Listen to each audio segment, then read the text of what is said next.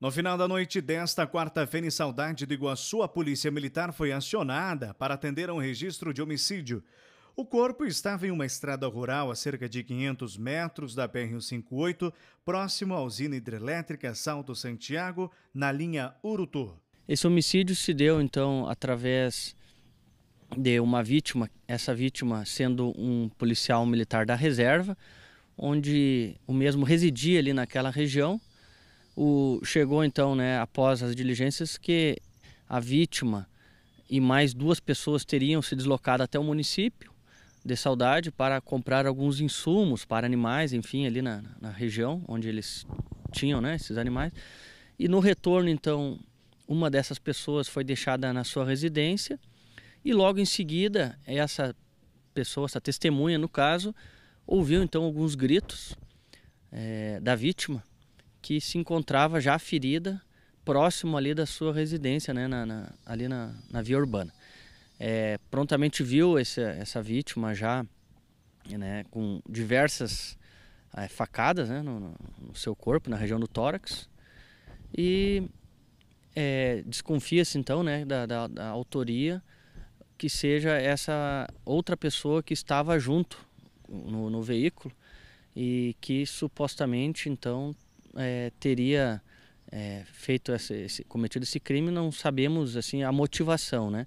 O que nós sabemos é que não, não foi latrocínio, né? ou seja, aquele roubo seguido de morte, tendo em vista que não foi levado é, valores que a vítima possuía, nem celular, então simplesmente foi cometido o crime de homicídio. Né?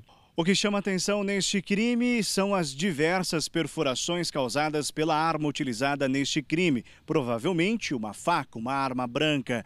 Capitão Mori conta que o crime pode ter sido motivado por uma desavença, crime de ódio neste caso. O que chamou bastante atenção foi o número de facadas, foi utilizado a princípio uma arma branca, cerca de 25 perfurações na vítima. Então, acreditamos aí que possa ser alguma desavença, algo talvez inclusive premeditado já pelo autor. A vítima foi identificada como sendo Ivo José dos Santos. Era policial militar da reserva. Esse policial ele foi para a reserva ali em 2012. Sempre atuou na, na região aqui do no nosso batalhão. Atuou bastante ele também na região de Saudade do Iguaçu. E desde então, então estava residindo aqui na região, né, no, na, no interior.